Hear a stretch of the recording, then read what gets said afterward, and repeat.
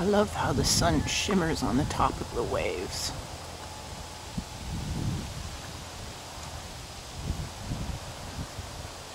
This is remnants of Hurricane Hanna and it's pretty docile by now. But the wind's picking up.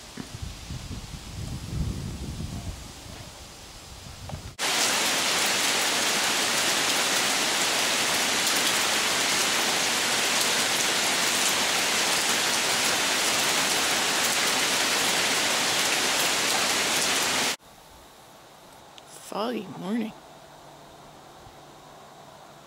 They say the Muskoka airport is one degree, but it's about eight or nine degrees here by the lake.